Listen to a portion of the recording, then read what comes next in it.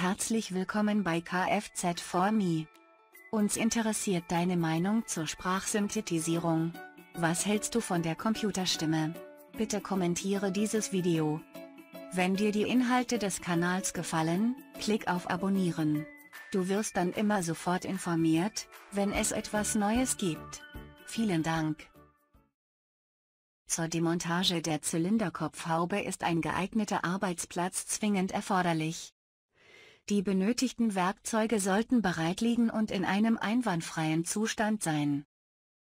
Die Befestigungsschrauben der Zylinderkopfhaube sind nach Herstellervorschriften zu lösen, je nach Hersteller erfolgt dies reihum oder über Kreuz.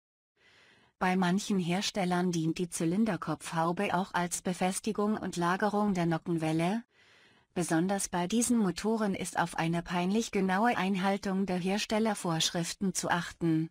Es droht sonst eine Beschädigung der Nockenwelle. Zuerst werden eventuell vorhandene Schläuche und Kabelführungen sowie Sensoren in der Zylinderkopfhaube entfernt. Durch Drehen der Befestigungsschrauben nach links mit einem geeigneten Werkzeug wird das Befestigungsmaterial aus der Zylinderkopfhaube entfernt. Die Zylinderkopfhaube kann danach vorsichtig vom Zylinderkopf abgehoben werden. Die meist an der Zylinderkopfhaube oder am Zylinderkopf verbaute Dichtung muss beim Fügen des Motors ersetzt werden, um eine ausreichende Dichtwirkung zu erzielen. Die entfernten Bauteile sind geordnet und gereinigt abzulegen und für eine eventuelle spätere Wiederverwendung aufzubewahren. Wenn dir dieses Video gefallen hat, dann lass doch bitte einen Like hier. Abonniere den Kanal, um immer als erster von neuen Videos zu erfahren.